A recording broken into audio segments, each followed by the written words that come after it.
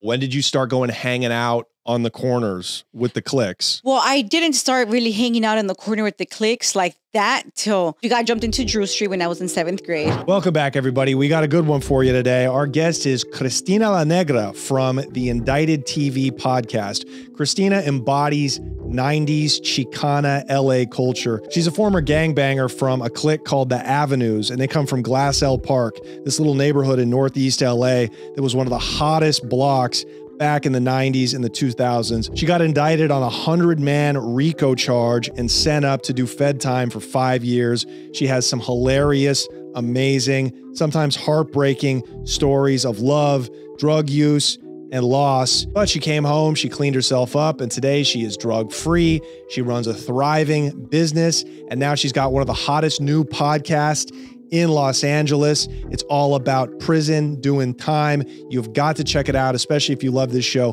Go over to indictedtv.com. And of course, if you want to hear a bonus episode with Cristina, and you're going to want to because we love this girl, go over to patreon.com slash the connect show. All right, let's get into the episode. I hear like a boom, boom, boom, boom. Mind you, I live in the second floor. So I look outside my window and I see like smoke.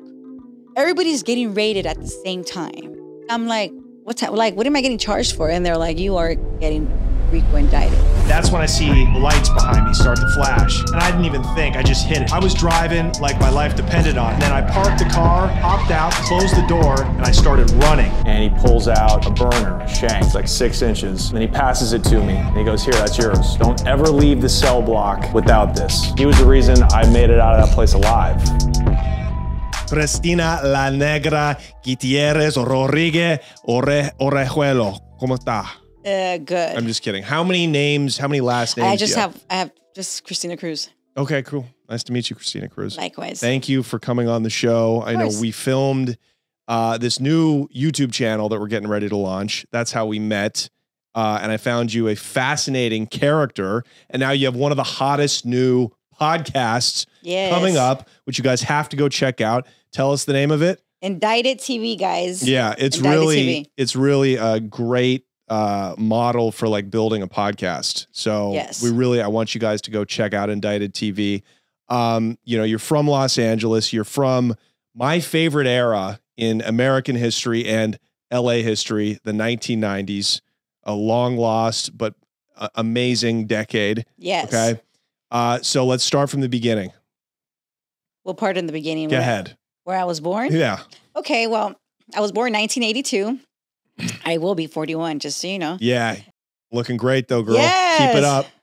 Keep putting that fat on. Keep what do you do? You put the grease on your face? I don't do shit, to be honest. I barely even wash it. No, I'm just kidding. so no, I was born in 82. I was um my parents had me when they were my mom was 18 and my dad I believe was 20. They are from Nayarit, Mexico. Mhm. And um they came.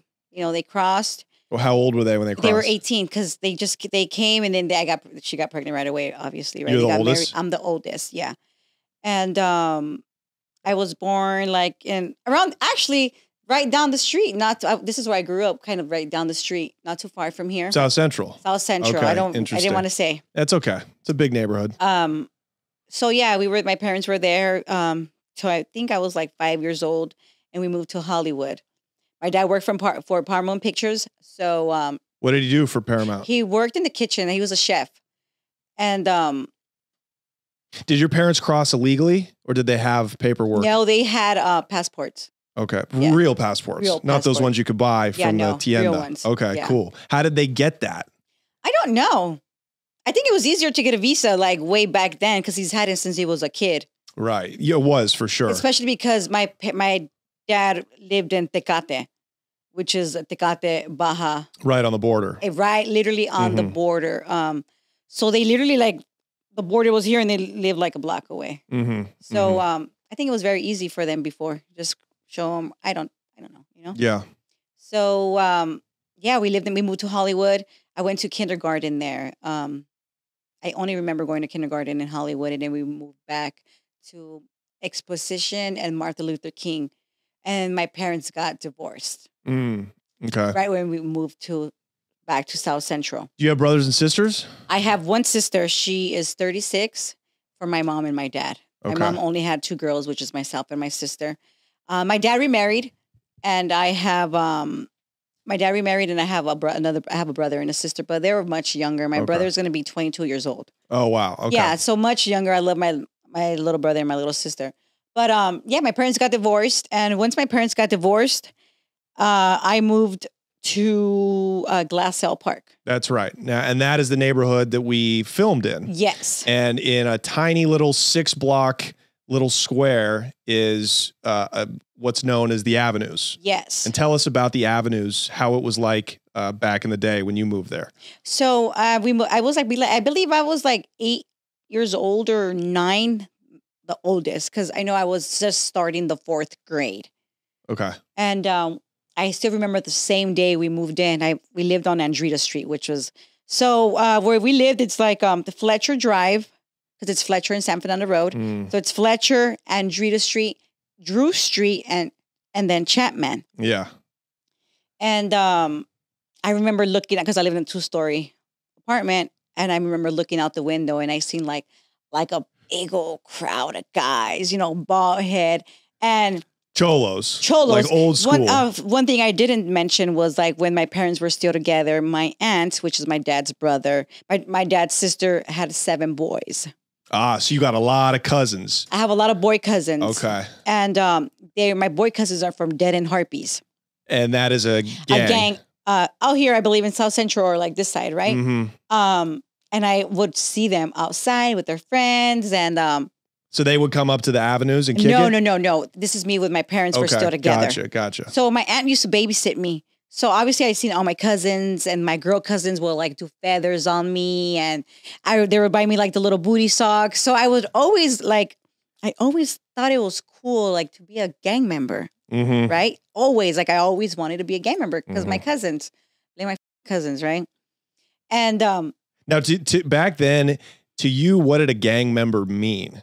well, it just meant like you have this you're from this group where they're all your friends and you're just hanging out with your friends outside. Obviously, I've experienced a drive by because this was like in the 80s, like early, maybe like 90 or 89 Mhm. years. You, you know what I'm saying? 1989 or whatever years, but it was like way, way, way when I was young. Do you remember the first drive-by shooting you yeah, saw? well, uh, we were all we were inside my house, and I had my my cousin. My cousin, he's a big boy, right? So he my they started shooting, and my aunt said, "Tírense, like throw yourself, mm-hmm. right?" and my cousin, my cousin, he's a big boy, so he threw himself, and then he was like. I, rem- I it's so funny because I I I remember like him like kind of rolling and he's only like two years older than me. So we were kids. We were like five, six year old kids just like experiencing these things. So obviously this was like 89, Yeah. 1989, 88, whatever, you know? And um, that was like my first experience. And not that it's like traumatized me because I probably never even thought about it again. But Yeah. I just do remember my cousins outside playing, not playing, but hanging out with their friends, you know? Yeah. Looking cool. yeah. You know? They didn't they weren't bald before they had like the Yeah. comb back with the ducktail. You know? Right. Okay. Yeah. That that look, that classic South Central LA Chicano Cholo look. When did the bald head become popular? I think maybe like in nine like in mid nineties. Yeah. Yeah. Because it was all it was always the slick back. Because Mexicans have the best hair. You see a 70 year old Mexican man, he's got a hairline that starts at his eyebrows. Yes. So that you guys used to, they used to slick it back With the three flower cone. stuff. That's right, right. And then everybody started going bald, shaving the head, which Yeah. probably started in prison because it's so stressful in there. Everybody's bald. Yeah. you know. But the drive-by shooting was people don't understand that are younger in L.A. The drive-by shooting back in the 80s and 90s was what school shootings are today. There's a protocol. Like grandmothers would know to tell their kids when you hear shooting, throw, Throw yourself on the ground Yes. because it affected everybody in those neighborhoods because they would come by and spray Literally. and hit houses that had nothing to do with it. Yes. Did bullets ever come into that in the, the house, yes. I believe that they did. Obviously, thank God nothing happened Yeah. or whatever. But um Were they targeting your house? it was my cousins. They were going to see my cousins. Oh, and your cousins were at in your house. yes, they were outside. Oh wow! Because my aunt's house was the spot where everybody Everybody used to go hang came. out. Yeah. Do you remember like did anybody get hit outside? Any of your cousins get hit? I don't I don't think so. Because I don't I, I don't think so though. Because I would have remembered you know, I would have remembered that's like a big thing. Like, oh Yeah. my God, they mataron somebody, they killed somebody outside. Yeah. But obviously that didn't happen. Do you remember uh, anything else about your cousins when you were a little kid? Like any kind of criminal activity? Like what what stands out to you about It's what they did? honestly basically just them just staying outside. Like I don't ever remember them doing any kind of criminal activity. Drinking forties though. I don't know if they drink 40s then. Did they drink 40s? Oh, I mean, we assume. I assume that. I don't know, to be honest. Maybe like smoke weed the most, but yeah. I was so young I don't remember. Okay. You know? Okay. So now we're, but now we've left South Central Yes. and we're in Glassell Park. Yeah, my parents got divorced. Yeah. And um, the guy my mom started going out with after my parents were divorced, um, his mom and his stepdad lived on Chapman, Right. which is the third street right where the cemetery is. That's right. In, You know? in, the, in the avenues. Yes, in Glassell Park. And um, we moved there, and this man was a crackhead. And my mom had no idea. Oh, you hit the boyfriend, her the boyfriend. boyfriend, yeah, Oh, smoking crack. smoking crack, especially in them days. Mhm. Um, he would leave, and um, mind you, well, back to my first day of me living there, like I Mhm. could look outside. There's like 30 guys, girls outside, and I'm like, man, one day I want to, I want to be there. Mhm. You know, Because it looked fun, it right? just looked cool, you know. And there was like a fight. I don't know. I remember though, you know. And it's Yeah. just as time went, like you know, all my neighbors were my friends, yeah. and we were just hanging out, playing, playing outside. Yeah. Yeah. It was nothing. It was nothing new, but you know, they were still there. hmm We would pass by, go to school, and oh, hey, that's my cousin, or hey, not my cousin, but like my friends' brothers, my friends' cousins, and things like that. You know what I mean? hmm I didn't have no family. I still don't have any Right. family that's actual like that's you know like a right. You didn't have a big Mexican family, Well, I have a big Mexican family. but not immediate family though. yes, so- immediate family, but no gang members besides my dad's nephew. Right, right. Um, so when you're walking to school as a little kid, are you passing by groups of these big Yeah. cholo dudes? Yeah, well, maybe not big, but like you Whatever. know, to me they were big. Yeah, like you yeah. know, like right. I thought it was cool. I would see Mhm. them. I would like, it's like, gosh, I thought I was fascinated by it. you know, right. one day, right. And and what day was that? What age were you when you finally left the stoop, so to speak, and hit the street? well, I was in the seventh grade, uh, so it's like you know, um, you go to junior high. hmm We're all going to junior high. All my friends, and we're from you know that area, and we know what gang is there. So it's like you know, where it's like a clique, Drew Street. You know, Right. so we're and we're all elementary, junior high. We're friends. Our brothers are actual gang members from the avenues, and we Mhm. just looked up to them. You know, And they're So- all Latinos, these guys. yes, And they're from Guerrero, right? A lot of them are from Guerrero. Like a lot of them that are from Drew Street, because you know Drew Street is yeah. a clique. They're they're, they're all from Guerrero. Yeah, that's really interesting. So you go, we drove up this long street called Drew Street, hmm and all of the families, many of them still live there today. Yeah. They're they come from Guerrero State Yes. in Mexico. Yes, That's and you so saw they still remembered me. Yes, yes. all the ladies. Totally. The tamale ladies remembered Cristina. It was- fascinating. Honestly, it was really. I thought it was so cool. It was like perfect timing. It's not. I mean, I go there all the time, Mhm. but it's like, oh, I haven't seen them in a few months, or because I haven't gone maybe like in whatever prior to us going, maybe like Yeah. four months. So, uh, I thought it was like so cool. It was like perfect timing while we're filming that these ladies are there and they're like, hey, Yeah. it just fits so like perfect. that Like, was really sweet. Yeah, yeah, yeah. So when did you start getting into trouble? When did you start going hanging out on the corners with the clicks? Well, I didn't start really hanging out in the corner with the clicks like that till um because we got jumped into Drew Street when I was in seventh grade. You got jumped in. Yes. Tell us about getting jumped in. So it was uh two girls and um two big girls, right? But they were like, no, she's like, we, oh, we got to get you again because we didn't get you good. Like, bro, you guys are two big ass fucking girls. Fucking, I'm all small, you know. But whatever, we were still friends. Like, it was my, it was my best friends. Like, so from then we and they started punching you? yeah, we we fought, we fought, you know. Right, right.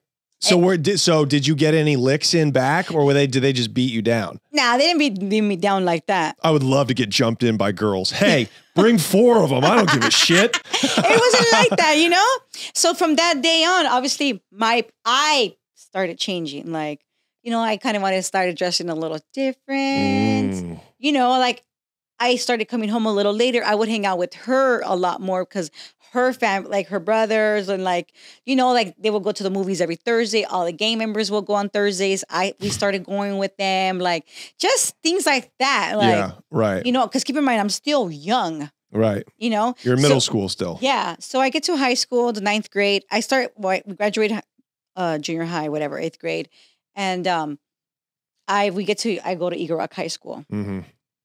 I know the gang ones, and then It was Eagle Rock High School. Was that a gang high school? Were I there know it was sets? Franklin was a little more of a gang Okay. high school. That was kind of a more like it was more like party crew days. Mm. You obviously have your gangs, but for Eagle Rock, not as much because there's kind of only like avenues. Mm. You know what I'm saying? You Yeah. don't have like one Highland Park or whatever, but it wasn't like that. Like at least for me in the ninth grade, it wasn't like that. Like those are all still my friends, but I got more into like the party scene, hanging out with the seniors. Because in the '90s, it was like a major party scene, like house parties. Yeah, And I'm a I'm a freshman, and I'm kicking. I'm hanging out with the with the seniors. that's a big deal. Oh no, I Yeah. was super cool, right? Yeah, yeah. But keep in mind, I still I go home and these are still my friends outside. You know what I'm Right. saying? And um my friends outside now now they start getting into the gang. hmm They're still my friends. Like we're still homies. Like I'm still from Drew Street. Like, you know, it's me. And um I start going out more and more and more, whatever, whatever. So now I start hanging out with this other girl.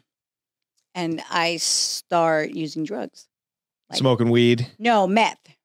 You just went straight to meth. No, I started smoking primos with my with my little homies. Tell us what primos are. Yeah, uh, primos are crack and uh, weed.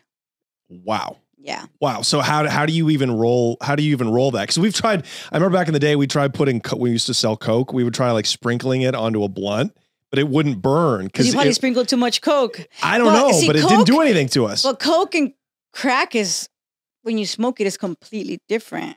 so you know, how do you feel like- smoke a primo though? Do you put? Okay, so we will break up the weed and just put a little bit of weed on the on the joint, like on a zigzag. I didn't smoke blunts Uh, on the zigzag, and then you know get a dollar, crush up the rock, wow. and with the with the key, you know, you just sprinkle it. Mhm. S- So you would go buy a crack rock? Well, we, yeah, we we were on, you know, we were in the block. A 15 year old girl, a cute, little, sweet, adorable Well, my friends girl, are already like doing their thing. like selling dope. Yeah. Okay, gotcha. So your so your female friends are already No, like my hustling. guy, I didn't really have too many female okay, friends Okay, so like your that. guy friends are, are out there, yeah, and we're going to school and we live in the same area. So it's like, hey, you got what? I right? got, I got, I got, you know, I got the wheat, I got the crack, or I got the shavings. You would say shavings. Shavings. Okay. Because we would get it from like the brother.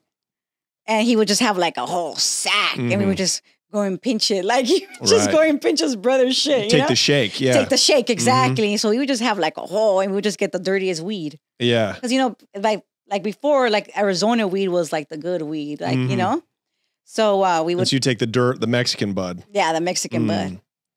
Wow. So that was the fir- your first time getting high was a primo. no first time getting high was weed but i don't feel like it really affected me like it even did anything to me Wow. So you got into hard drugs quickly. yes so i was i was i was in the 10th grade So you would smoke a primo, I was- crack, and and then go to school, or smoke it at lunch. yeah or not come back we would ditch me and my this one friend of mine she's still my friend she's the first time the first time i went to hall was with her she's still my friend and she's the one that introduced me to fucking meth that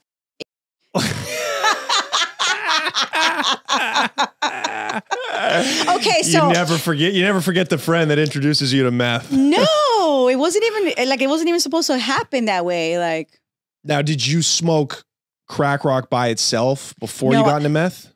No, I never smoked crack by itself. I never like free based. Was that a was that a stigma? Because by the '90s, being a crackhead is already an unacceptable thing in in hood culture, like Yeah. in rap. Like oh base it ass fools. Like Exactly. no, like it's not okay. So so that was that was still not okay yeah, to you. like homies will get hooked hooked on it, and they will like hide. Like they wouldn't come out and hang out with us anymore. Mm. Even though we're smoking primos, like a gang of us, like we'll make like little circles, like. Three of us here, three of us here, or four, or like we'll make little groups, you know, because Wow. one primo is not enough for like Mm. 20 people. Like, nah, fool, if you don't pitch in, you ain't smoking. you know, and we will make like little groups like that. So the way most high schoolers have blunt sessions, right, where everybody chips in two dollars, Uh-huh. you get a te- you know ten We're, dollar yeah, we're bag pitching in for the crack. You're paying for the crack rock for the shavings. oh my yes, exactly. And this is me in continuation school. Like I remember it's I was going to Highland Park continuation is when I used to smoke way more primos. Like Mm. that was the era of me smoking primos, Yeah. which is me ninth grade, 10th grade. So okay, so you got kicked out or dropped out of Eagle Rock. The I got kicked out of Eagle Rock quick. High School. I only did like probably half of the ninth grade. Uh, And then I went to Franklin. and now we're getting ghetto. Franklin's a little more hood. Exactly. You know, um, now I'm really ditching hardcore, like just ditching, ditching, ditching, ditching, ditching. So um, when I was going to Hyde Park, when I was going to Franklin, is when I got in trouble. Like we got arrested uh, for GTA. We stole the pizza man's car and his money. Me and my girlfriend. And How'd they, you do? How did that? What happened? oh, we were with these two guys. There's always some guys, right? Mm, We weren't even on drugs. We like we were sober. We were like, hey, we need to get some money because we were gonna go to a party, like to a party, uh, party, like one of those house parties or whatever, Mm. you know. And um, we go to like uh, Glendale Hills. You know, like how right there, that's like you can't really like. There's only like certain ways to exit like, sure. the private little Yeah. areas or whatever. So we saw Pizza Man and we we got a bag and we're like, give us your money and the car. Oh, and you pretended like you had a gun. Yeah, I mean we didn't, and then she got on the on the driver's side, and I got on the passenger side, and it was like literally burning my legs. Like the chopper came, they thought it was like four guys, and it's like literally my friend with this big ass hair because she's Puerto Rican and Cuban, right? and me, right? If I saw two little 15 year old girls trying to stick up my pizza route, well, first of all, what kind of pizza was it? I think it was probably Domino's. Was it Domino's? Yeah, or Pizza Hut. Who knows? Probably Pizza Hut. Pizza Hut's fire, though. Yeah, probably Pizza Hut. Wow. So you, that's So we- some gangster as us two sober chicks. Yeah, we weren't even on drugs or anything. So you and you just needed a ride to the party. Yeah, we just wanted it. We were just bored. Like, Wow. like who does that? Yeah, I'll I'll say. You know? So I'm trying to figure this out. Is is so you guys so they sent the helicopters over? choppers. We were kind of. It wasn't even a high speed chase because if we weren't even on the road for like three minutes, like max. She's like, "What should I do?" Right? I was like, "Pull over." I don't know. You know, they put it. eh, Get out of the car. You know, they put you down. Uh, you know, walk backwards. Wow. You know, like the whole. they really drew was, like, down on extreme. you like it was uh like you were some real gang members. yeah. Wow. And keep in mind, I've never gotten in trouble with any of my homies like that. Mm. Besides my, uh, the big federal case. Yeah, of you know? course. But other than that, like I've never, like it was always me on my own, doing my own shit. So what what happened? They sent you to obviously Okay, so we, we got arrested. We go to uh we go to Central Juvenile Hall, which is East Lake. They take us in. Uh, we were there for like 30 days. Wow, that's a long time. Yeah, no, it was our first time. She was crying the whole time. My friend, right? I always fucking make fun of her still. Uh, she was crying for her mom. And this time, like our parents were able to come visit and bring us our hygiene. Now I don't think they could do that, you know? But um it for me, it wasn't like, oh my God. You get what I'm saying? Like, sure. like it just kind of made me more like where are you from more That was like a stripe. You you, it you was more like because when in the, when you go in they're always gonna ask well where are you from Mm. like it's just the way and now it you're like I'm from Drew Street. I'm eh? from Drew Street I'm from I'm from Drew Street Avenues right Yeah. but it's just the way it is and it's Mhm. like from then it just kind of like got more intense and Yeah. more intense So like you- now I didn't even go home well I, I got out and I went home obviously but now I didn't hang out with my girlfriends now I was like Now you're fully in the yeah street. because I saw the homies in there like yeah. now it was like more like, and all the dudes from the avenues from Drew Street heard Like, that Cristina Negra, got like- locked up. yeah, yeah, yeah. Like Where does Negra come from, by the way? You're you're my mom.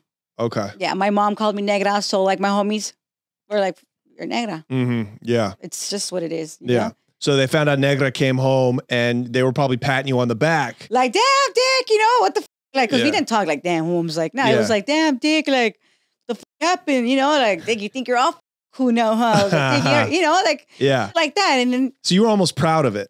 yeah. Wow. Okay. So just based on the the area where I lived, Yeah. right? Um, I was already automatically like part of like the gang, Right. So now the you're gang unit. you're in the system as a gang member because you're from a gang set. So yes, actually tell us about the LAPD gang units back then. Was was Crash still around? Crash was around. I had a, I had two.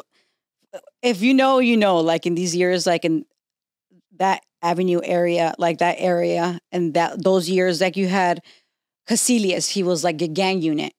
He was my probation officer, and then you had Tim Brown. Tim Brown was my probation officer as well. He was a gang unit, and this old white man used to walk around with a cane, like um, just he was just he was just a like if it was Tim Brown out, Hmm. Yeah. everybody was Right. inside. Because he was going to put you Yeah, away like- if you if you were Like I got violated just for being Yeah. in my front yard with my neighbor from across the street. right. Right. Things like that. You get what I'm saying? Like I remember one time I was supposed to be home. I think I was on probation, obviously. I was supposed to be home like at six or five, and I wasn't, and um, nobody was home, right? But I'm walking and I see Tim Tim Brown and like the gang unit coming out of my house. And there was nobody even there. Like, like Wow. what you like? I, let themselves in. like you're literally going to go look for me because I'm Mhm. not home hmm and you're coming out of my house. Yeah. Point is, they waited. I got violated, and I went back to juvenile hall. How long did they send you back when you violated? Uh, I think I juvenile? only did like three months. That's only. all. What are you no, talking I about? know Only- only. I think it was like no, like three months. I did so three you did months. triple the time you actually did for the charge yes. for the crime. Yeah, Wow. So you're out of school. School's done because School's- you're you're in jail. Yeah. And then you're getting in trouble and you're going back to jail. yeah, And and this is also the era where the gang unit would come by and they put everybody up against the wall. Yeah. There's no they had no regard for like rights or probable cause. nothing. And most of the people on Drew Street were probably on paper, right? Everybody. Everybody had felonies. Yes. So you couldn't, if you were associating with another felon, that's technically a violation of your parole. But exactly. that's just your neighbor. Exactly. Um. So That okay, was like the hardest thing what to what was to be like to go through that. Like to be like, okay, meet me in the back, Dick. Mhm. Like we're gonna blaze, but we're gonna blaze in the back. Like we can't go to the front, and we're Mhm. like literally like, hey, neighbors. yeah, You get what I'm saying? yeah, yeah. So uh, so at this time you smoke meth. Yes, I started. sm- Okay, I remember the The, the, beginning first, of a long journey. we were at a barbecue. It was like Baja Sundays or something, and um, they had like the what's it what's it called?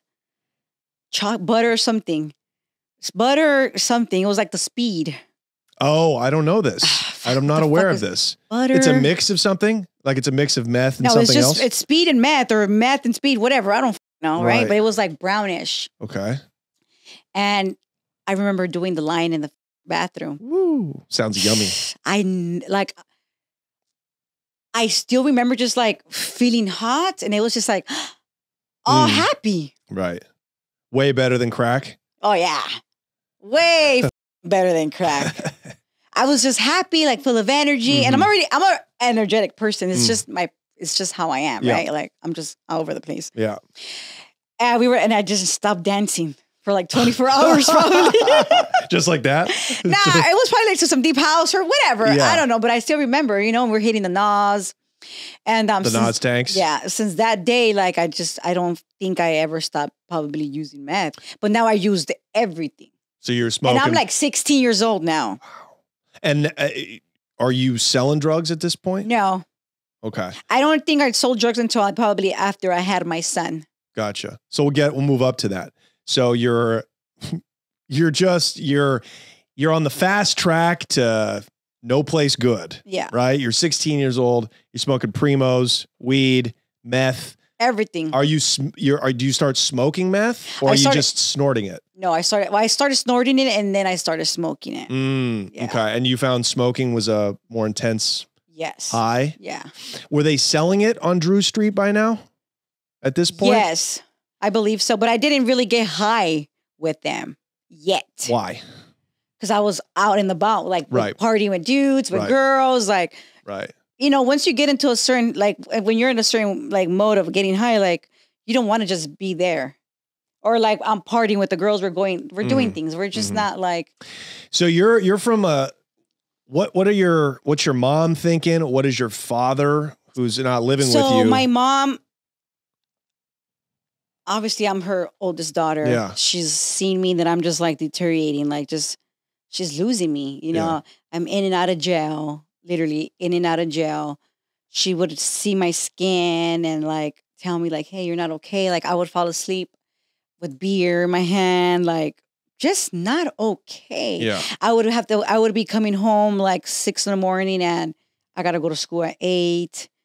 Just things she would text. Uh, well, not text me because we didn't have text, but she'll page me. Mm. I wouldn't respond. Like you know, um, I'm now I'm just hanging out with you know, just hanging out.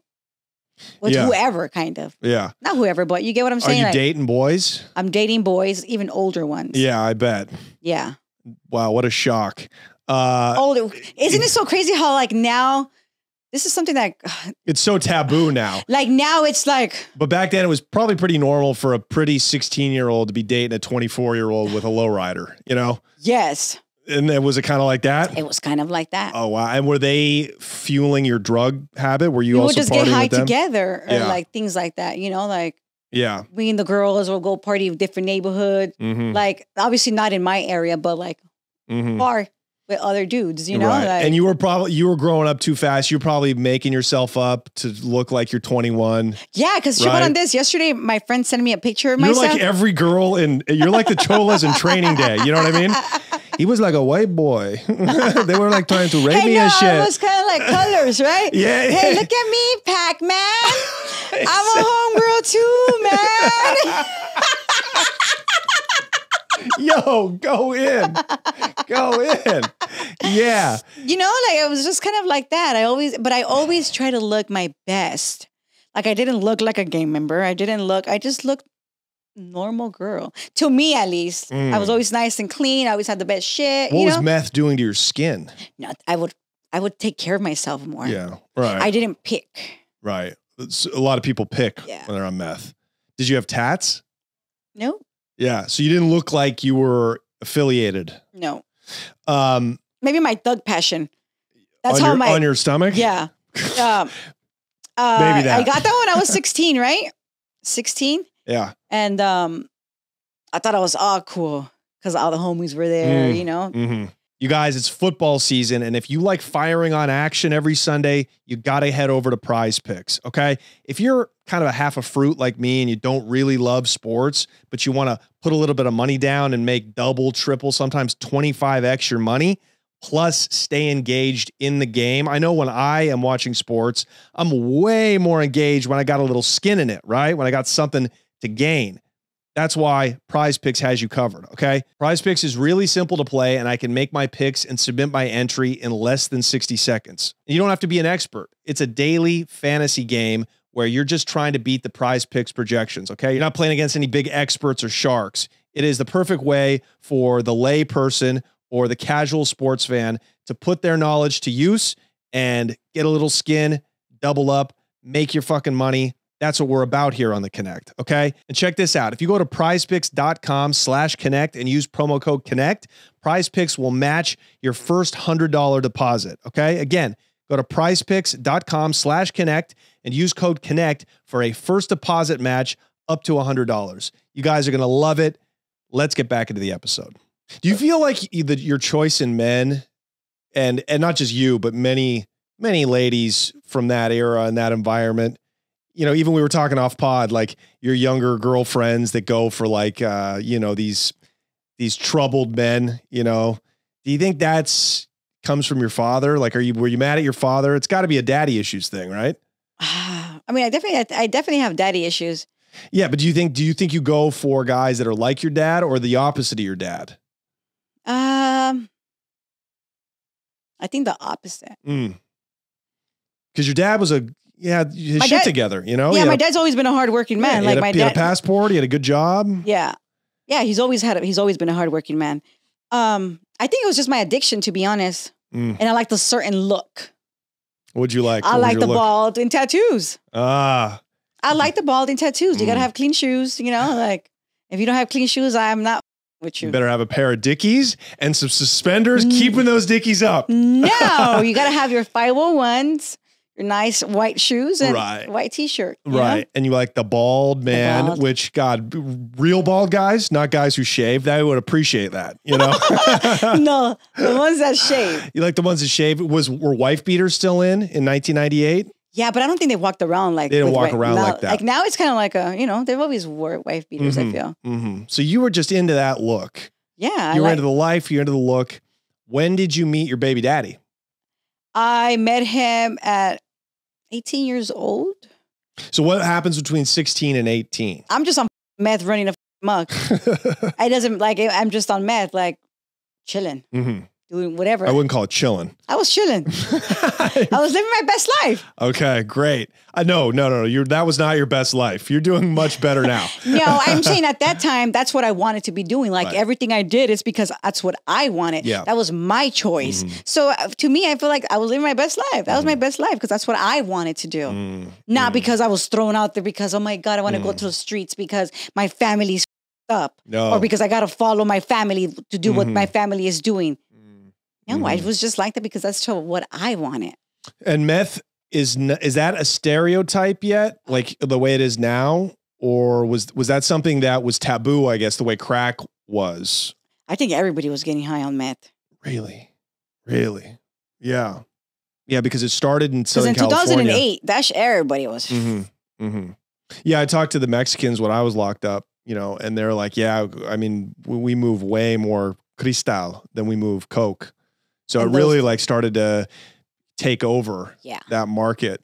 Uh, but but you know now it's known for being like in rural white trash America. Yeah. But like- back in the '90s, it was, Was- it was an inner city thing. This is fascinating, you know. But it wasn't in black neighborhoods though. no. It really was Now in- it is, I feel. I probably is a little more, yeah, yeah. But it was started, but it was in Latino yeah. communities Yeah. from from back in the day. yeah. Wow. Um. So yeah, now you're 18. Tell us about your son's father.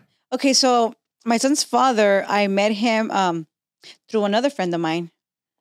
Um, it was her. It was my friend's stepmom's nephew, Mm.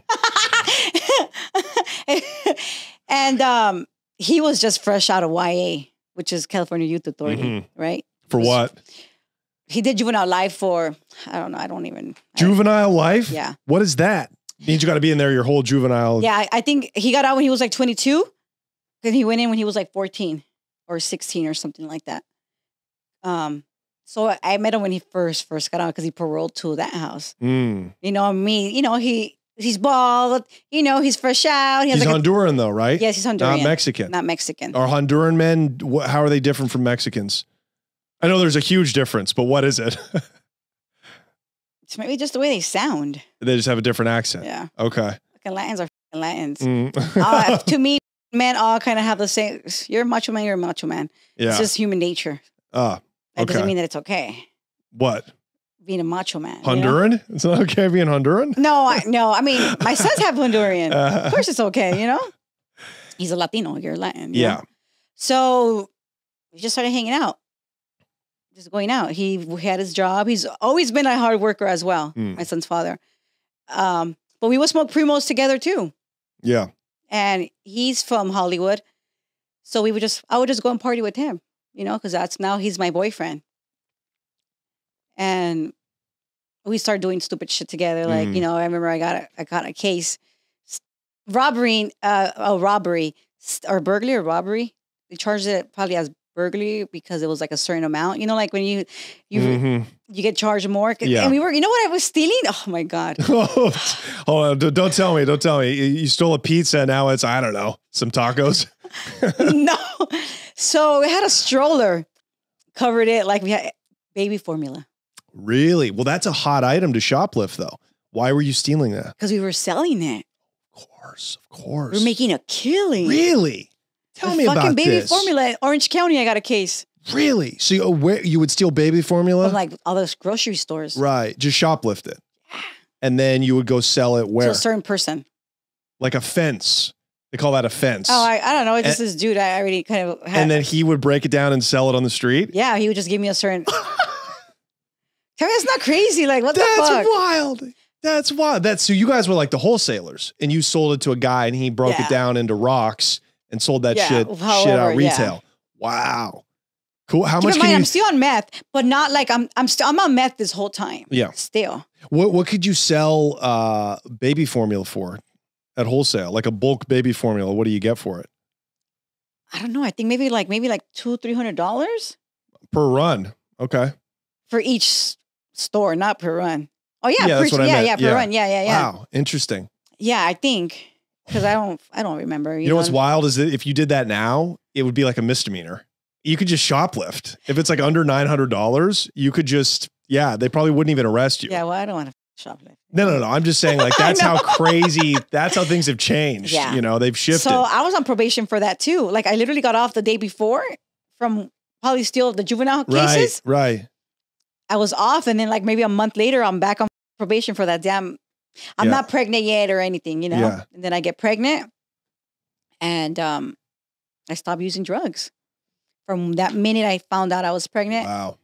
and You were able to stop like that? yeah, and I was living in Pomona with my dad at this time. I was going to cosmetology school.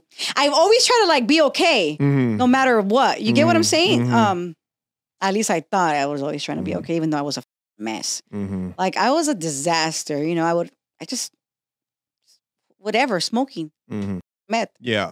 So, some fucking you, motel or some shit. You know what I'm saying? yeah. Yeah. I guess if you're going to smoke meth, you just go all the way. Do it in some dirty travel lodge. You know?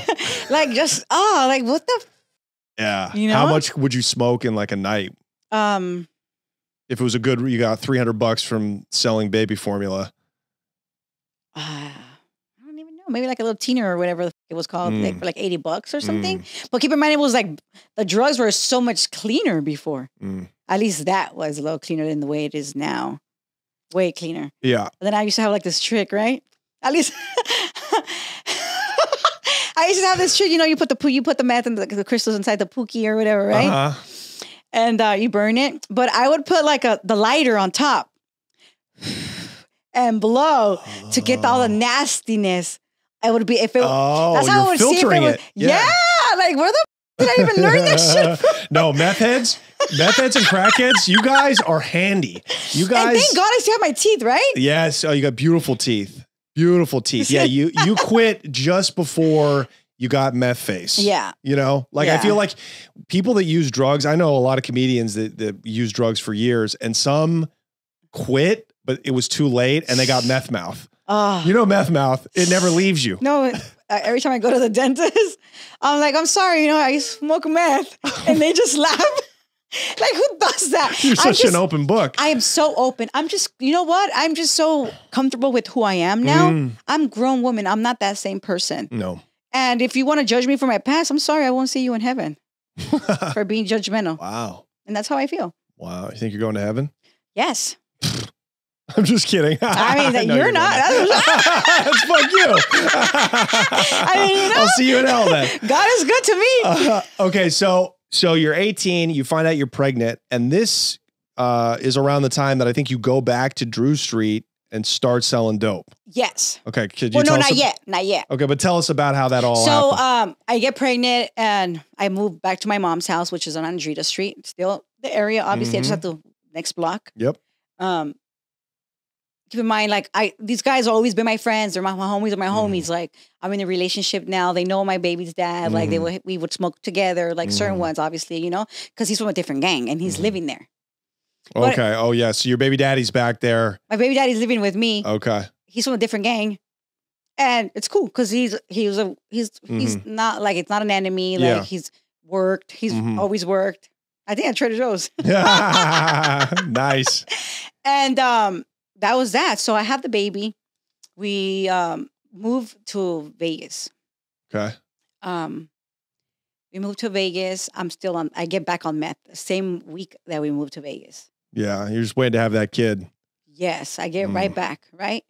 Um I had a boyfriend, my teenage boyfriend, which is he's from, you know, Mm-hmm. he's from he's from the hood. Yeah. And he was my boyfriend for like since we were like 16, 18, 19. Like, you know, he was my boyfriend boyfriend. Like we lived together as we were teenagers, like like that, right? Mm-hmm. But he's in he goes to jail and I get pregnant on him, Mm-hmm. right? So he gets out when I moved to Vegas. So I'm taking I'm coming I'm taking my trips because I'm getting I don't know if I should say this because what if I get in trouble? I'm getting, you know, I'm getting help from the government. So I come once a month to get my to get my money. Right. Right? Sure. And once a month I'm coming. But he's already out and I'm already seeing him. Mm. He's back in the neighborhood. He's back He's- on no, Drew yeah, Street. he's back. He's back. okay. And um I already have the baby. So and I'm on meth and he's on meth, Okay. the guy, right? Yeah. And um I just stay longer, longer, Right. longer. I then by that time, like my hus- my baby's dad and I are fighting, like Yeah. because I'm not okay. Mm-mm. I am not okay, right? Mm. Um, so I leave him and I come back home. With the kid? You With got your my son, yeah. Okay. um, with my son, and um, he comes down to try to. He asked me to marry him. Blah blah blah. Obviously, that didn't happen, right? Like, why do you want to come and be with this person that's a disaster? Mm. That's not okay. But he's not okay either. My son's father, he's on drugs as well Mm. Yeah. now. You know. And um, now I'm just with this, with you know, with, and now I'm being with my son's father Mhm. and with him. Mhm. And this guy is like, now he has another girlfriend. I'm like going crazy on him, like both. Like it's just a mess, right? And I'm just on meth really, really bad. Mhm. And obviously, I break up with my son's father. The guy goes back to jail. And um, I'm still doing my shit. Like now I'm just, now I'm like, oh shit, what am I doing? I need to get my, sh- now I'm, now Now I, you got to get money. yeah. So now I'm need to get money. I need to get high. I need to, now I have to pay. My mom Mhm. moved out. Mhm. So I have to pay the apartment. So Yeah. So you're and, and that neighborhood, the avenues, uh Glassell Park, back then, it was just dope houses. It was crack houses, Everywhere. meth houses, people on the corner. everywhere. Like there was like uh on each corner, like there's like five, five up, you know, there's houses in between the apartments that Right. have that that sell as well. It was just And what was the traffic like? People buying, 24 7. cars coming in. 24 7. And you know, I five is right there, and and the one thirty four. I think you can just get, or the what is it, the two The two freeway. Yeah. It's the two. So the two, the 210 or 134, and then the five. Who was coming up from? Who was buying? Do you a lot of? Armenians, a lot of black people. Wow. Yeah. Coming to buy crack. Yeah. Wow. Who was Mainly buying? crack. Who was buying meth back then? Besides the Latinos, Um, Russians. Russians. Wow.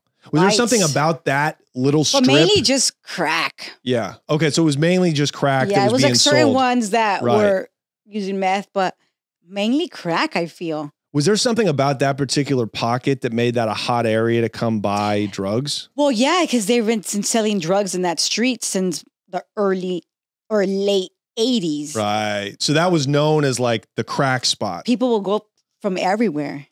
And it's tiny It's too. So you can see street. everybody that's coming up. It's a good strategic place for dope dealers Yeah. because it's essentially a dead end at the very it's there's a cemetery at the end Yes. of the block. And so it's really easy to spot cops probably coming up the you, way especially too. when you know you start you start knowing the, how they sound, Mhm. the way the lights look, Mhm. just Mhm. certain things. You get what I'm saying? Yeah. Like you just know Yeah. Wow. So it's just a it's just a hive of drug activity. a lot. So how did you get into the game then? Um, just like, hey, I want to do my shit too. Did who'd you go to? Like the older homie? Well, I know I just got my own shit, and then So did you open up shop in your, your well, I was my own person. That's what I mean though. no, but- I didn't sell inside my house. I would just go outside. so but uh, you started off selling crack? Yeah, I only crack. I only sold crack. Did you buy it already cooked up? No, I would cook it myself. You knew how to cook crack? Yes, Did you have to have an older homie teach you how to do it? I only saw one person do it one time, and that was it. And I would do it in the microwave. Wow. So you were a visual learner. Yes. So you who who would hit you off with powder? Uh, he actually just passed away. May he rest in peace. Mm-hmm. Did he uh and was that it was a Mexican guy Mhm. from the neighborhood? He wasn't from the gang, but he was a paisa. Can I ask you a paisa, what is when you say paisa, what does that mean? What's He's the distinction? Mexican. He doesn't. He doesn't go as in like an ese or a Yeah. homie. He's not a Chicano. He's not a first. No, he's not a first wasn't- generation. He, wasn't born here. He was born in Mexico Right. Speaks Spanish. only. Right. So did you? Was there one main paisa who distributed powder to all of the other Chicano crack dealers, or did they all have their own plugs? Well, if you could, if if if it was easier for you to go through him because he's there, yes. But Mhm. mainly, you know, if you uh pay a certain amount, then it doesn't matter what you do because you're paying sell drugs. Right. How much did you? How much would you pick up from your paisa? Not even that much, honestly. Maybe like a like a cookie. What was a cookie? An Like- ounce? Uh no, maybe like a no more than that. What's more than an eight ball?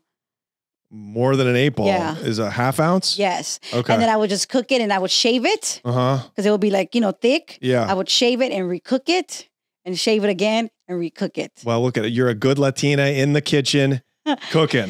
And it was just like small. It wasn't like rocks. It was just like small little dimes. You and that's I would just, just I would just sell dimes. and that's just one a one hitter basically. Nah, more. You could smoke a primo. Wow. Wow. So how and how long would that take you to sell? Oh, like Did you have a good recipe? Was like was it strong? Did crackheads like it? yeah. It just depends on who, how the badge of was Right. his right. badge.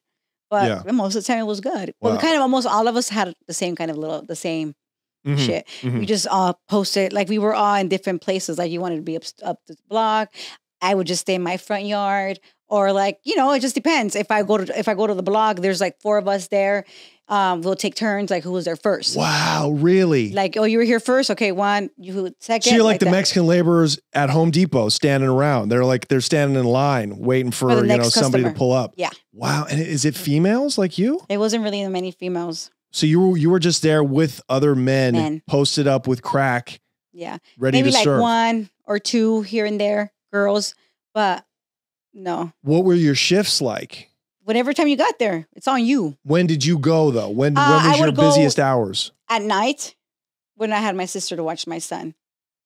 Wow. How much would you make in a shift? Not that much. It just depends on me. Because remember, I'm a meth head too now. Yeah. So I'm smoke. I'm buying meth as well. Mhm. So it would come home with like three, four hundred three four hundred dollars max. How long would that take you? Uh, maybe like two days, a day. To- just depends on the night Right. or on me. Yeah. So that's about so it's four hundred dollars. Uh, that's forty sales. Yeah, Which back then that's enough to get you fed time. You know. yeah, exactly. Especially with the crack laws back then. So that is pretty wild that an eighteen year old. and it's like girl. all of us. No, at this time when I uh this time I'm already like um twenty three. okay. Gotcha. Yeah, Gotcha. So you're a grown ass woman by Yeah, I'm already Could be a grandma. no. Joking. no, gross. um, I still don't want to be a grandma. well, yeah, I'm not ready for it. yeah, you'll, you'll you'll you'll grow into it. You'll get ready. You know, Yeah. your son doesn't have kids. Your oldest son. no, my son is not even like um. Well, I mean, he does have. A, he's had a girlfriend, Mhm. but like right now, he's just like not caring for girls. He's Yeah. just working and just Good. doing his thing. Good. Good. Girls him, are gross. Focus on what's Yeah. important. If you have Yeah. a girlfriend, cool. You know, I would Mhm. love for him to have a girlfriend. Mhm. It's just, just whatever happens, happens. You know, he's a good boy. Good. Good. Yeah, he's not going to be selling crack. Definitely not. Definitely so not. uh, this is so. Um, was there competition at all on Drew Street amongst the dope dealers? Always, But I mean, because there's some that are the bigger ones yeah, that everybody goes to theirs. yeah. So it's like it just depends. but there were there ever sh- like shootouts? Like if somebody on the street was No. getting money, You can't do that. everybody. Okay, no. Hey, tell us about that. What were the rules around? well, I mean, you just gotta dope take turns. You can't side bust And so everybody was kind of cooperating, unless they go to you personally, right? Like right, right. or But- it's like you're the you're the man. You're the, oh, we're going here. We're going here. We're going here. But even if it was at a certain house, there's still at least one or two people there yeah. that they're still taking turns. So, So everybody, like so much money. everybody on this street was like cooperating Mhm. in this in crack selling. Wow, that's and and and I know when we were filming, you told me like you saw some people get shot, or you heard people getting shot in the street. Yeah. What was that over then? It's just a random walking, not walking like a you know where one of the guys was outside and he's not he wasn't even from the gang. He just lived there. Yeah. You know, uh, somebody was driving and got off and shot. Wow. Over what? Just he didn't say anything or anything, but you know, it's could it could have been somebody else, like an enemy or whatever. Right. You know, just And just mistaken identity, shot the wrong person. yeah, that's that. You know, Wow. Did that happen pretty frequently? no, not really. Honestly, Yeah, because it was such a tight block. it was such a tight block. You couldn't get outsiders really in at all. because you could see the op It coming was in. so different. yeah. Like it was different. Like you know, you would have people in different area, like corners. Like hey, like Looking out. On the chirp. Did you have the chirping? You have the uh, chirp. You had like, the walkie Hey, where you talkies. at? You know the whole So the little next the phones. Yeah, exactly. Yeah. So did you have lookouts like that? Yeah. Or we're just outside and we're like, hey, we've seen this car, or like things like that. Wow. But or the cops, mainly for the cops. We weren't really Yeah. we weren't really too threatened, honestly, by other people. because you guys are so deep. Yeah. Uh, do you remember raids before your case came down? Do you remember the cops rolling up uh, during raids on crack houses? Not really, to be honest. Mm. It- like I, I don't really remember it like that. To be honest, maybe just the cops getting the guys. It was more about the guys, the cops getting the gang members. Right. So they weren't there for the drugs. Obviously, yes. Well, what do you, what did you throw? You're looking, oh, You're hey, trying to, you know, always trying to find something. but, Obviously, it, but but it was still the gang unit mostly that was always coming the up in gang there. unit. Always the gang unit. It was more about the gang members. All right. So were you even thinking about feds at this point? I never even thought about the feds. You weren't because you were like, I'm just looking out for LAPD. I'm just Yes. looking out for LAPD. And look, it got to the point. This was like 2000, and the early 2008. Um, we would have like undercovers, um, like post up, like maybe like 10 of them, and pretend to be gang members. really? They would pretend. Obviously, we knew who they were. Like, okay, here's So they didn't fool you at all? No, of course not. We don't know these people. They don't look like any of us. Like, they're not our friends. Were they Latinos? Yes, Latinos and whites. Like they will, you know, like put the bandana all the way. Like who? The, we don't wear that shit. We in the, in It's the early nineties. 1988. Yeah. We're in 2008, 2006. Like Right. shit's different, you know. Yeah. Like it's not. You're not Yeah. wearing that food. Like what are you doing? You know. So we, we already know. Mhm. So they would uh bust. They will say, oh, they will bust the smokers and ask them, who is this person? Who is this person? Oh, so they were doing reverse busts. Exactly. That's crazy. and that's how they would get information from the, right. from them. And smokers. So they knew us. The smokers knew us. They were like our Yeah, buddies. Like there were certain ones that we want. Oh, hey, I wonder when this fool's coming, or like, Right. hey, And crackheads will always snitch because they're so desperate to get out of jail to get high Uh-huh. that they'll they'll give it all the game up. yeah.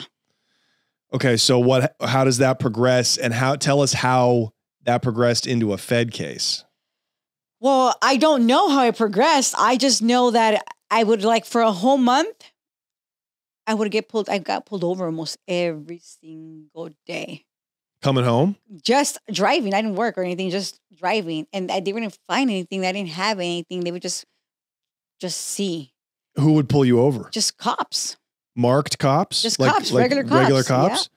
and I would got a ticket for like speeding, for like exhaust, like just Would, would they would they search your car? they were searching my car, and I had weed. Like I would we have like a joint lit there. Yeah. Like I wouldn't get a ticket for any, just for like stupid shit. And and with it did were you on and you had felonies by now? Obviously.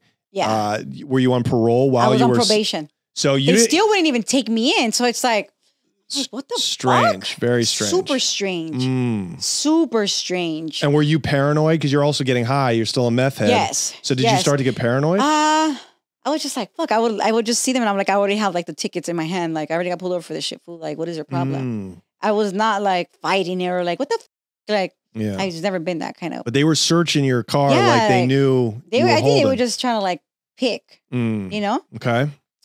And um, yep, in 2008, I believe it was in June. Um, I it was like four in the morning. My two guy friends just left. We were eating. We were watching the 50 Cent movie. Get rich or die trying. Yes, Trevon on this the whole time the feds were in the house. You know how the DVDs at first like it has like the DVDs you had to push play or whatever like, but it was always like a song playing, Mm-hmm. and it was like the 50 Cent song like, um, America got a thing for this gangster shit. They love me. I, it was a song. Yeah. and it was just playing the whole time. I just remember this shit, you know. Yeah. So, anyways, my guy friends left, and we were just eating cake and watching the movie. Right, I'm on meth, but they're smoking weed. they didn't. They didn't, weren't meth heads, you know. Yeah. And um, as soon as they left, I hear like a boom, boom, boom, boom. Mind you, I live in the second floor, so I look outside my window and I see like smoke. I'm like, what? The I'm like, what the? F-? Literally, I look and I'm running back and from like my door to the window, and I just see cars like going really, really slow, extremely so. and I'm just like, ah, shit. And then I hear like going up my stairs, doom, doom, Boom, boom, boom. You heard the boots. because I I live on the second floor. They, you know, they didn't break down my door. They knocked. Mm. They're they're nice. They were Mm. very nice gentlemen. I'm not gonna say they were mean or anything. Um, they knocked and they asked, "Hey, are you Miss Cruz?" Sure am. You know, Mm. I already knew what time it was just because I mean they're at my house. You know, all I cared was that my son was okay. He was in the apartment He with was in the you. apartment. And I still remember his little face. He was like super nervous. Like he was five. Mom, is my mommy gonna be okay? And they're like, yes. Um, they allowed for me to call my mom, Hold on. So who who was there? The DEA. the DEA and ATF. wow. Yeah, Looking for guns. looking for guns. Did you ever have a gun? I didn't have anything on me. But you didn't have anything on you. But did you carry one in your your line of work? Mm, yes and no. Not really. Okay. I didn't need to. I could really f***ing carry my pants. Yeah. Twig. You know what I'm saying? Oh yeah. So you're sucked up. You're I'm smoked the f- out. wow. Yeah. Yeah, I am like Mm, a stick. mhm, You know. mhm. And um, So they bring you downtown. They bring no, they didn't bring me downtown. They took us to uh so when they were take raiding my house, they were raiding like 70 other people's houses. At the same time. maybe not 70 people, but there was 75 people in my case. Whoa. So this was a whole It was this was like a whole this was a whole indictment. a whole indictment. It's like 75 of us. stringing you guys all together. We're raiding everybody's getting raided at the same time. Wow. One of my guy, one of my homies, he lived right across the street from me. Like me and him were both in the paddy wagon together, and it was literally like the paddy wagon, like you know the little trucks with open the door in the Yep, back. Like, yep. so I get in there, he's already in there. Now tell us when you were getting hand, when you were handcuffed and getting walked outside, what did the block look like? Was Like it just, just- packed with cars? Just packed with cars, all feds. squat, uh, squat, SWAT. Like, Wow. so it was still so smoky. Like, just So they were raiding houses. They probably shot the smoke. uh huh. They were getting like every. It was like boom, boom, boom, boom all over. Mostly men. Mostly men. Any Maybe other like any other girls, girls? or so? Okay. Yeah. Wow. So tell us about your case then. How do they because I'm very fascinated by these federal cases. They they took all of these basically freelance dope dealers, but you guys were from a gang. Yes. Was that the way they were able to call it organized crime? Yes. Because you all claim to be from a certain gang and what, what was that gang called? avenues Avenues. Yeah. That was a gang. So that's the way that they were able to elevate it into the Rico. Yeah. into a RICO case. yes. Wow. And when you saw that paperwork, I didn't. I still didn't know.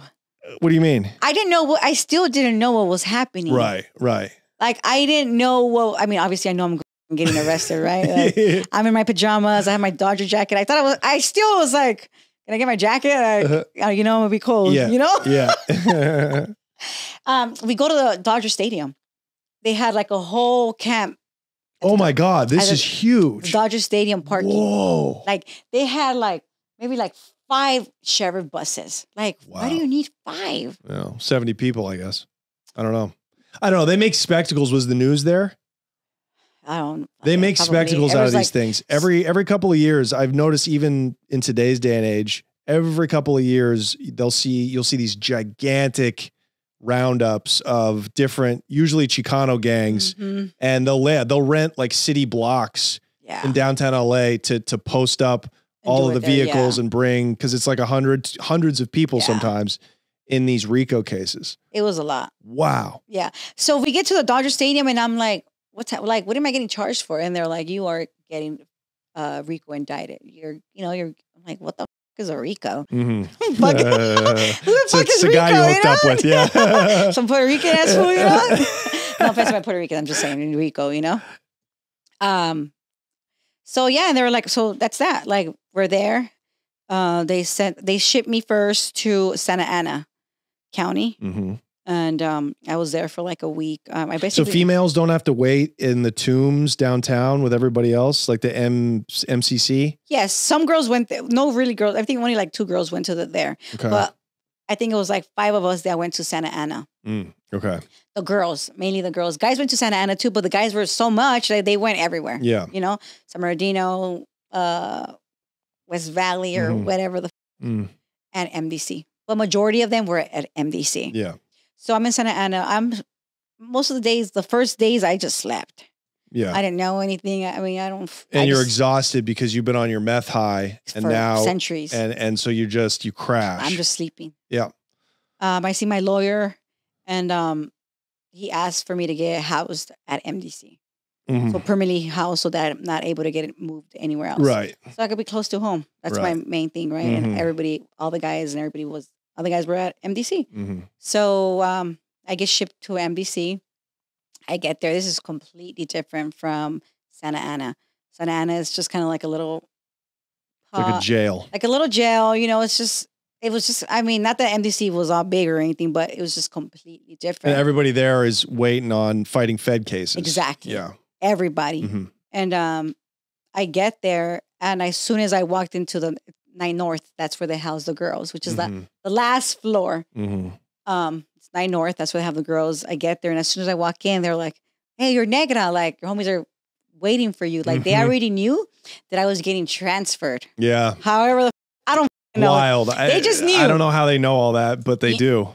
Um, so I get there, and they're like, "Oh, you're Negra. Hey, you're you're Negra. Your homies want to talk to you." And I'm like, "My homies want to talk to me? I have no idea. Like, what do you mean they want to talk to me? Like, yeah, yeah, go to this room and and scream on the vent, like Mhm. six north or Mhm. seven north, Mm. because they could hear you on the vent. So I get there and I'm like, "Hey, it's Negra." Whatever they're calling me, they're like, "Okay, hey, I just want to let you guys know that I'm here," or like, "Hey, we know you got here." Blah blah blah. If you need anything, let us know. Mhm. Just like that. Wow. I got into my room and MDC was something else. Yeah. It was a trip. It was cool. Like not like that, but you're obviously doing time, right? And it's like, oh, you're I'm in this big ass case. There's girls and there's the guys are all Mhm. downstairs. Everybody's all like, ah, Mhm. the girls, the guys. Oh, I'm talking to this guy. I'm talking to this guy. Like everybody has yeah. a boyfriend You're in and a relationship in jail. I love those. it's like an old school sex sex line. You know, you just talk dirty through the vents. Well, I, you know, I had one, but I didn't talk dirty. To be honest, I had two boyfriends, right? In there, in Two- the MDC. two and a half, two and a God, half you were always playing around. You always were. You're a little player, dude. I was. That's what you are. Now, would you? But my last boyfriend had kept them the whole term. your last boyfriend? whole- oh, you kept him your whole stretch. My, my hope, my my Oh, my wow. boyfriend that I found at MDC. Yeah, We were in the relationship my whole term, like writing each other. every day, talking to each other, three way messages, Wow. emails, like How do you email from prison? well, because you know we have uh now we have like emails, so we have computers Oh, that you're able to inmate your uh, email your family. So I would email his mom. His mom will copy and paste, and she will send it to each other. right. Like I, I, she will send me his messages, and I would yeah. she would send my Could, messages. could to you him. get nudes out to him? no? That- How the fuck do you even take nudes though? I don't know. I didn't have cell phone. Like it wasn't like that Yeah. Okay. at all. Okay. You know? Yeah, yeah. I always found that cruel when I was locked up. They would confiscate the nude photos that the chicks would send into the dudes. I'm like, do you want us to? There's so much stabbing already. Yeah, you like want to kill each other even right. more? Like, at least let them release the damn stress. Yeah, seriously. Get, tell them to quit offering to me. You know, Jesus Christ, Shit. I can't take it anymore. So uh, yeah, MDC was completely like people would uh, we would fish with the Mhm. guys through the toilet. Okay, tell us. Tell okay, us. so uh, this I thought it this was like so crazy. So depending on the floor that you ha- that you, that you- know, obviously the girls on the ninth floor, and you depends on what floor the guys of eight north or seven north. Mhm. We would get a sheet, and you would slice them like do lines, Yeah, do lines, right? you know about that. and tie them up. Yeah, we definitely know about doing lines, guys. we would tie the sheets up, so make them long, right? Mhm. And then that's the that's one side, and then you will tie like this, the laundry bag has like a net looking thing. You will cut it and tie it to the big old line of sheet, right? The other person that you're fishing with will have the hook, meaning they'll do it like a braid, and you know on each battery, if you open the battery up, it's a nail in there. Oh, So you will make a braid and pull like maybe like 13 uh nails right. inside the line. So then I flush and they flush and they would try to hook. Oh, I have the hook and he has the I have the line and he has a hook. So yeah, we try to hook each other right, and then we would connect. Bam. right. And then he pulls it down. We'll we'll be connected. He has his Oh, side and I have my side, but we're still connected. Right. So then I would pull his line up or however, and we would send like food, letters, alcohol, Through the bag, through the plumbing, through the, the, plumbing. toilet. But we would wrap it. Like, let's just say you're in, in the SHU. There's guys that live in the SHU, right? Yeah. They don't eat real food like that. Like, so the girls will make burritos.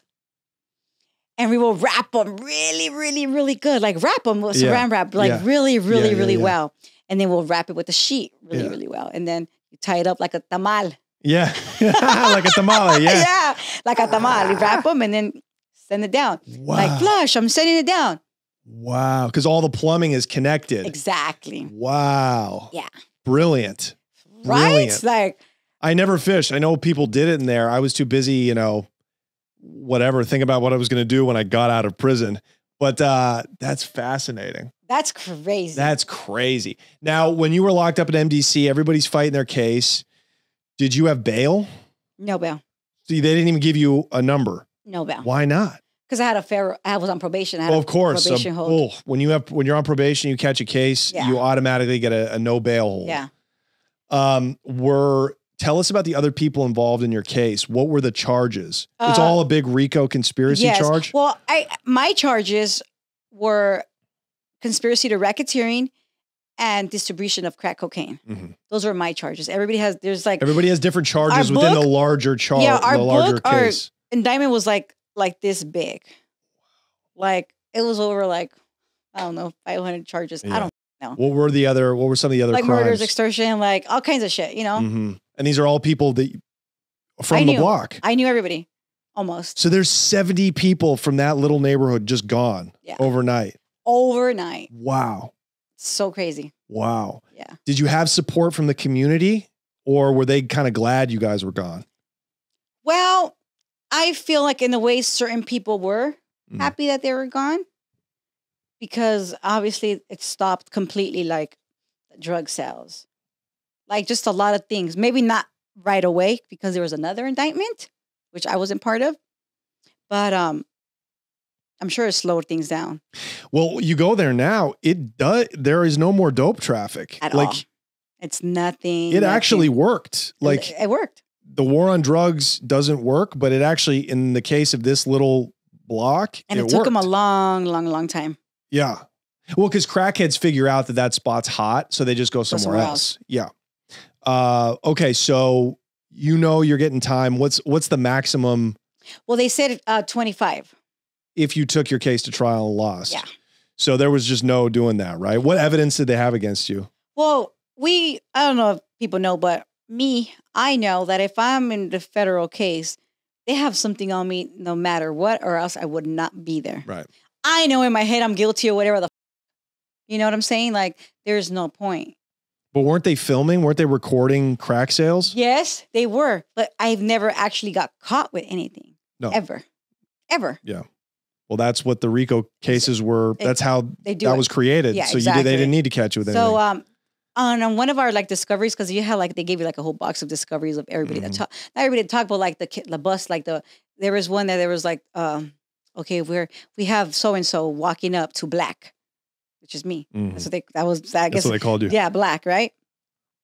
And um oh, we don't know if she's gonna go for it, like things like that. Oh, so they had undercover uh buys on you. Were they were those actually cops or just crackheads that they one had? was a cop and one was a crackhead okay. Because there was like three different ones. How many buys did they have? of mine, probably like four.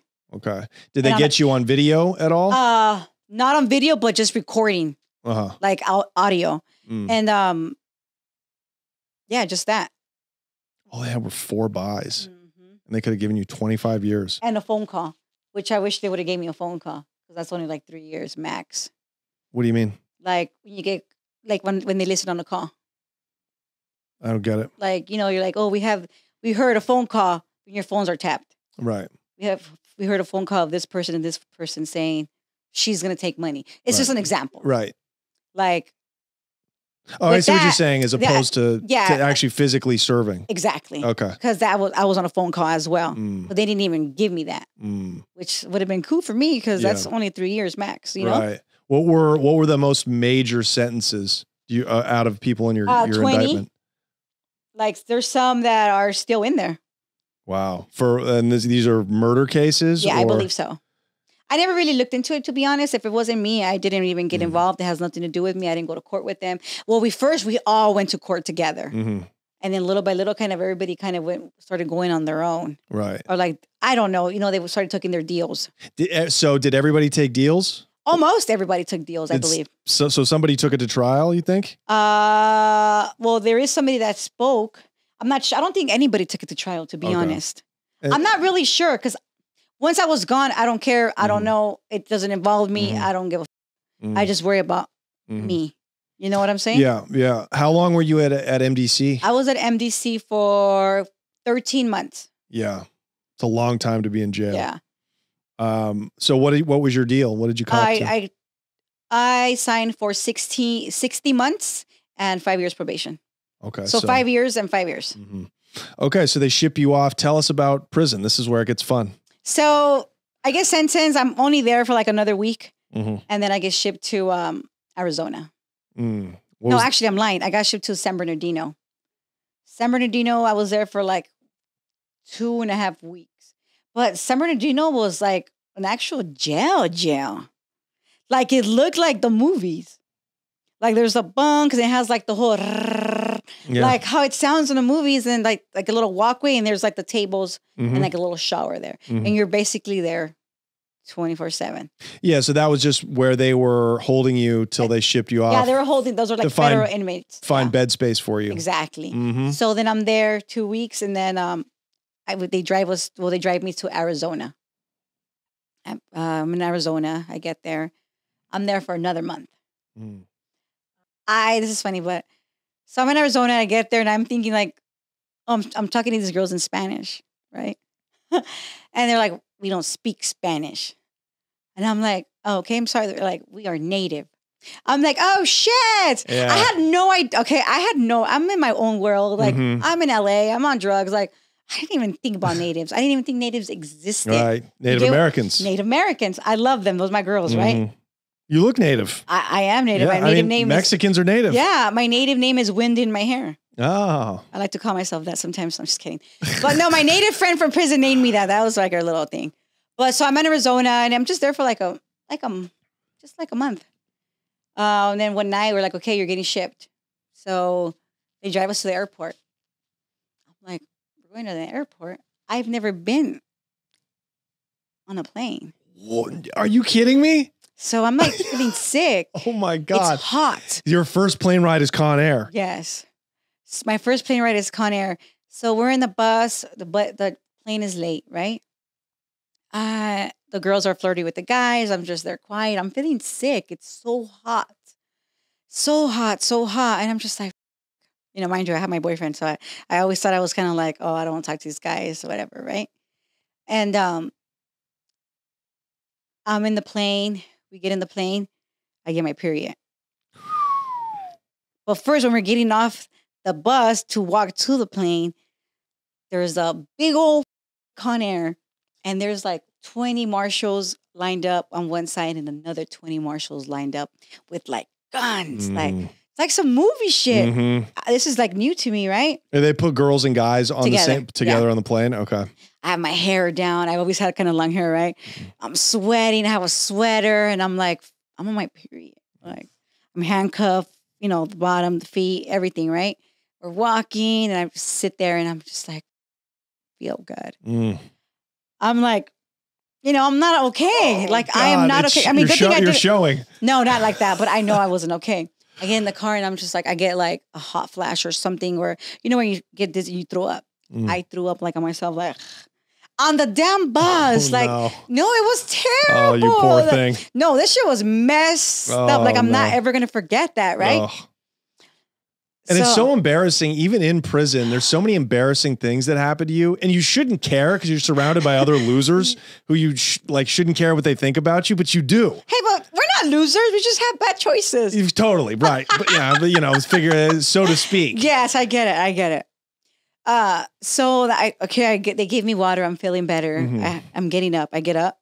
It's a long path to walk to the bathroom, right? Mhm.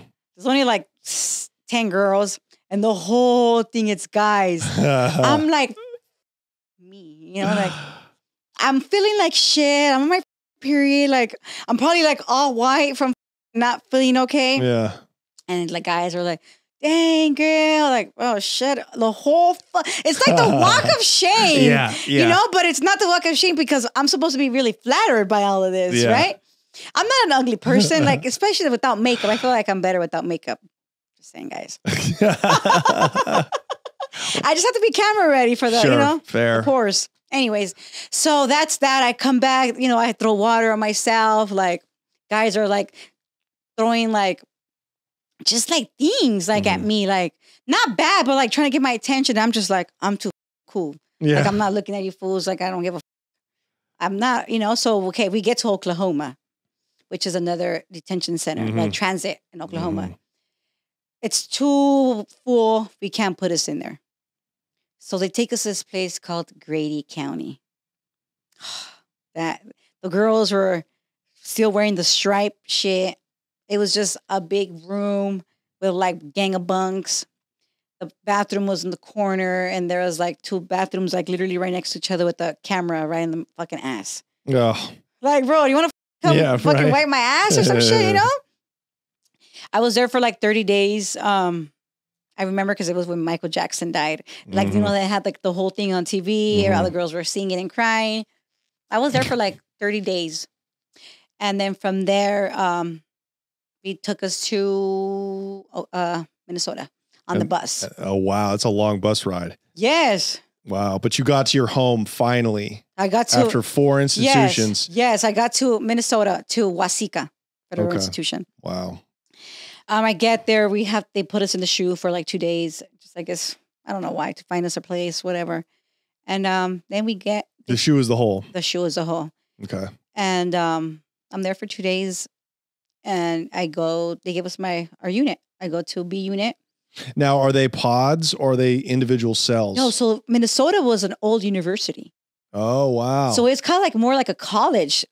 base. interesting. So like the rooms were like the actual rooms, like the dorm. yeah. Yeah. So it's not cells, it's not doors. wow. It's just a room hmm with two, you know, two bunks and the lockers. The rooms are pretty big. Wow. So it's pretty comfortable. Yeah, Wow. but when I get there, I go to the to the basement. Yeah. because I'm a new person. Yeah. Like you don't go and get a room. It Yeah. doesn't work that way. You know, Mhm. you gotta wait your turn. Yeah. So I get there. I have my. I mean, I started reading Twilight. You know, that's when it first came out. I read the whole books now first month. Like I didn't really leave. I would just go eat. I didn't really like. Now, how was your your you haven't done meth since you got locked up? I haven't done meth this whole time. So it's been like my over first a year. year while I was at MDC, I smoked weed and I drank. Okay, how do they tell tell us about the drugs in jail? They would people would smuggle it in. People would keister it in I don't know, but the weed I would. Eh, the guys would send it to me. Through through the fi- The on the fishing line. Wow. so you get a bunch of weed covered in shit water. Yeah, That's great. So you would and smoke. these little pinner ass ones, like pinner, pinner, pinner. yeah, yeah. But our main thing was we were drinking, you know. But once I got to prison, I didn't. Um, I didn't do anything. okay. I mean, so- I might might have snorted a pill here and there for like Right. the holidays just to like chill or whatever. sure, sure. a little you time. There's nothing wrong with that, girl. oh, you know, the vibe, you know, the music or whatever. But Okay, so were you gaining weight back? Are I gained- yeah, but I started working out right away. As soon as I hit MDC and I started feeling myself more, I started because you know they have a, like a stepper and Mhm. a and a elliptical, and Mhm. I started working out. Yeah. I got to Minnesota and I gained weight because I got a job at the kitchen in the bakery. Ah, yes. I wasn't working out yet as much. Like I just was just, just I was just kind of like I guess getting into the groove. Yeah. Like you know, I got a job and I'm just just getting just getting Mhm. settled. I should say. Mhm. You know, once I was already there, like a year or like maybe like eight months, I started working out. hmm And I would work and work out, and that's it. Yeah. That's all. And most of the people locked up were there for drugs, I assume. Most girls, yes. Yeah, that seems to be what most women And a are lot of women are there because of their men. Right. Yeah, isn't that crazy? It's They're sad. there because they get roped into what their mans are doing, and then Mhm. they take a fall. Yeah. Do you remember or like that? these white collar crimes.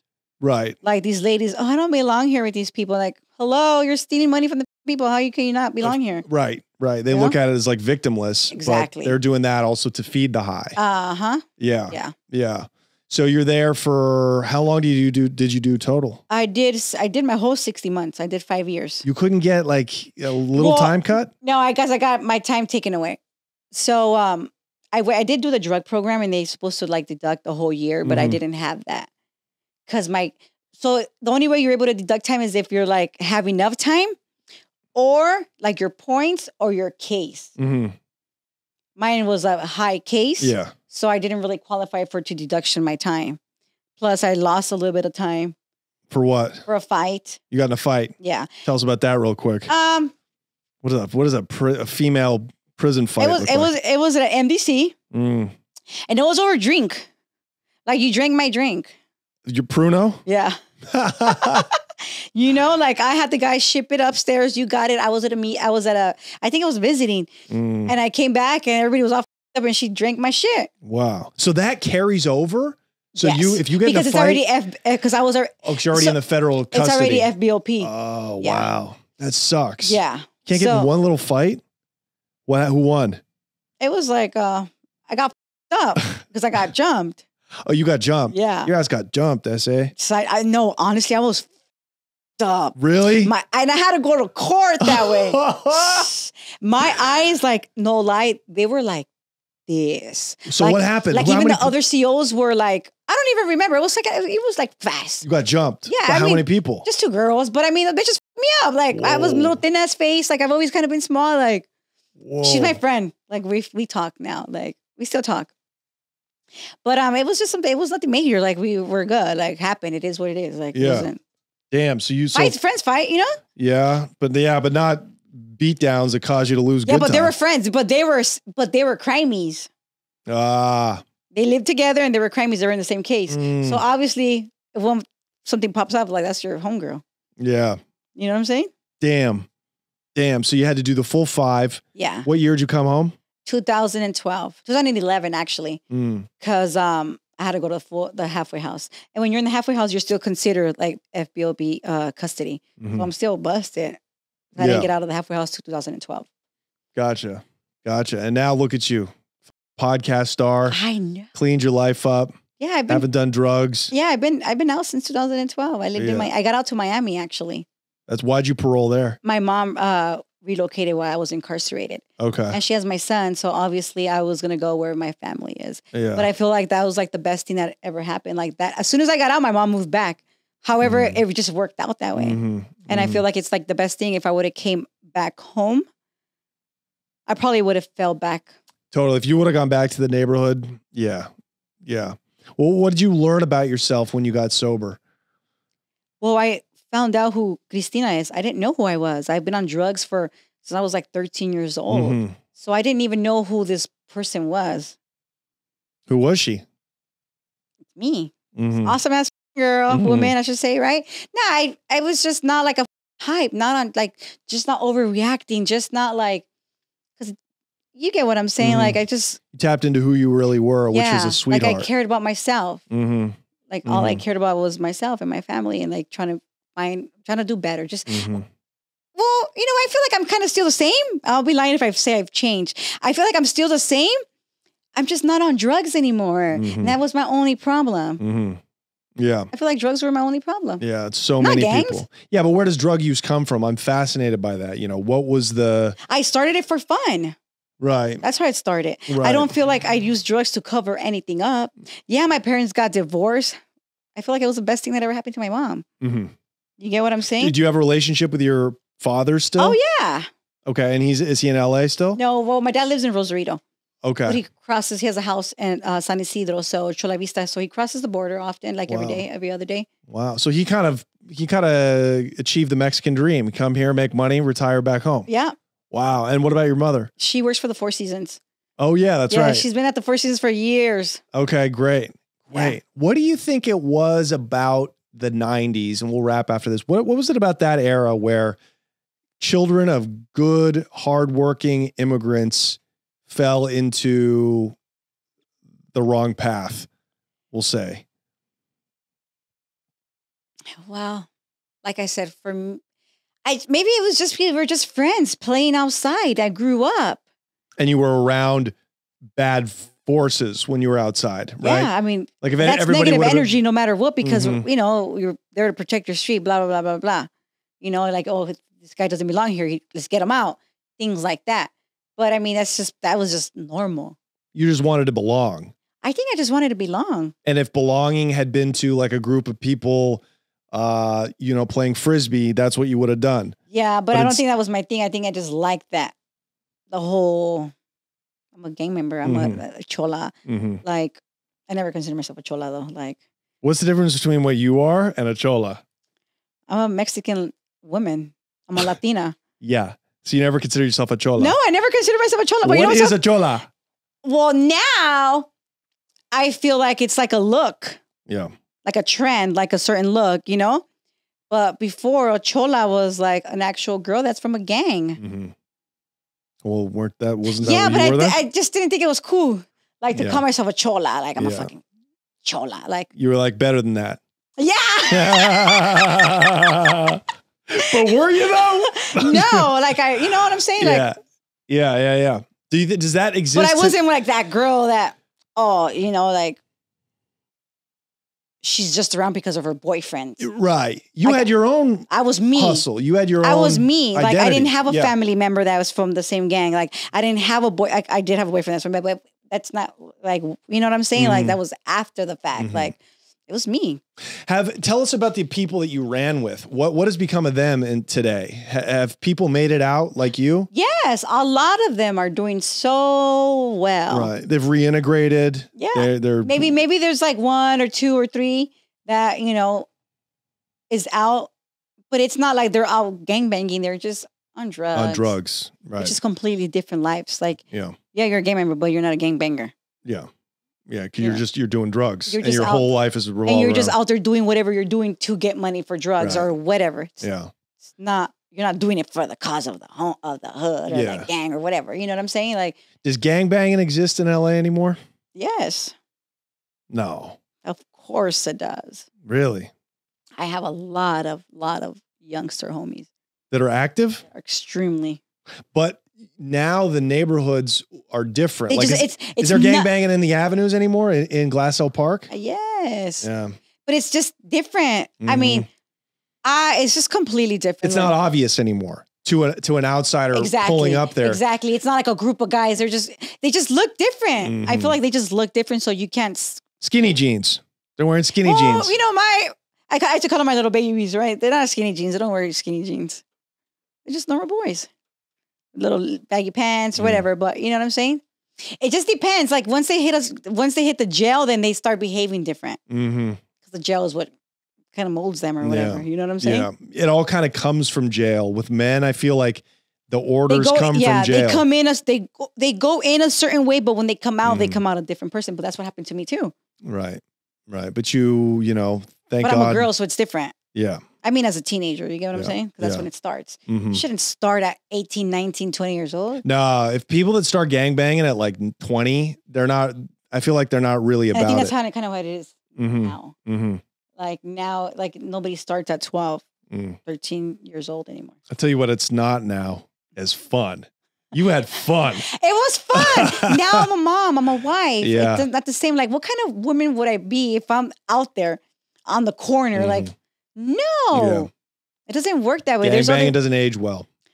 no, it's just not. It's not. It's not the right thing. Like, Mm. I'm not. Like, what kind of fucking person would I be? Mm. If you're young, fucking keep doing your shit. You know, if you're young, if that's what you want, to that's Mhm. if that's the lifestyle you want to be in, then hey, Mhm. Don't cry. Mhm.